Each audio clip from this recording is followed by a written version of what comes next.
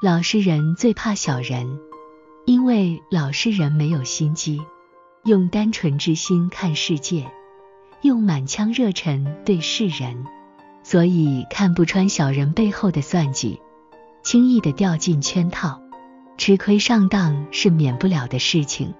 致谢机巧老实人学不会，但是识人术自古以来多有流传。谋圣鬼谷子就是此中高手。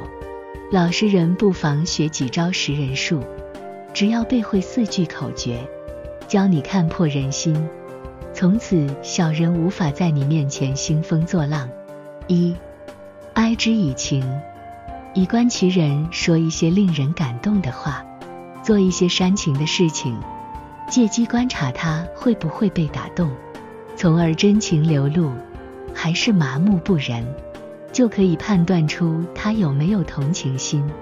汉献帝曾用此术考验刘备，告诉他汉室积弱，受权臣胁迫，问询其是否有匡扶汉室之心。刘备最终通过考验，被献帝授予衣带诏。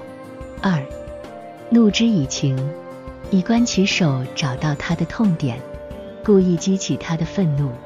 借机观察他如何宣泄怒气，会不会情绪失控，还是能够平心静气，就可以判断出他有没有情绪控制能力。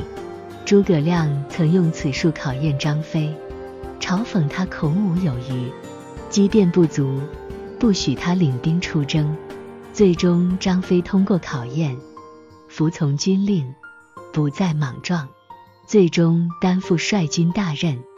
三，乐之以情，以观其性，说一些吹捧他的话，做一些让他快乐兴奋的事情，刺激他的情绪，借机观察他是否会得意忘形，就可以判断出他内心真实的性格。曹操曾用此术考验刘备，与其青梅煮酒，吹捧其天下英雄为操于使君，刘备不敢允诺。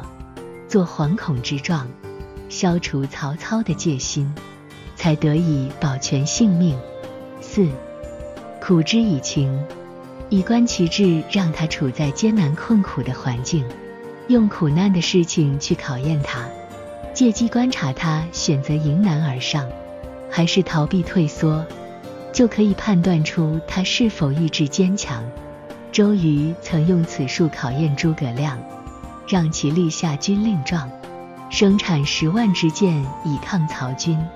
最终，诸葛亮与单关金、草船借箭，证明蜀军可与吴军共同御敌，吴国和蜀国结为巩固的联盟。